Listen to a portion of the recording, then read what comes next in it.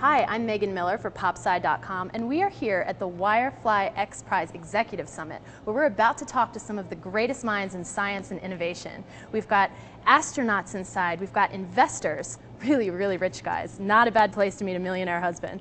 And we've got really great thinkers. They're all coming together to talk about the future of personal space flight as the beginning of this huge festival out here in Las Cruces, New Mexico.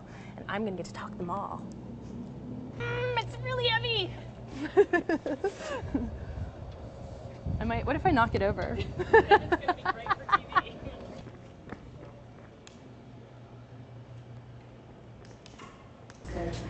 We're inside the executive summit now, and we are the only cameras allowed in here. This is an exclusive scoop, and Mark Jannot, the editor-in-chief of Popular Science, is on stage.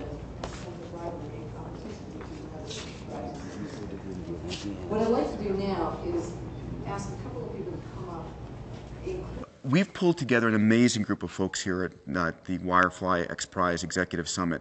This is the first time we have the leaders of industry, the leaders of government, having a very candid conversation about how real are the markets, what are the technologies necessary, what can the government and should the government be doing, what should industry be looking for, how fast the financial market's coming. It's the leadership coming together and saying, we're giving birth to this new industry. One of the reasons I'm doing this is I would love to go to space myself. I'm very consciously staying healthy, not just for space, but that's one thing I'd, I'd like to be able to do. I'm hoping to get richer and I'm hoping the prices will come down. And when there's a match, I'm off. You know, I'll tell you, I would love to go up in space. It would be one of those things that would be a true dream from my standpoint. Now, staying in a hotel, I'm sort of picky about my hotels. I'm not sure it'd be quite up to standard right off the bat. I might want to have a few other guests go there and tell me about it before I took it out.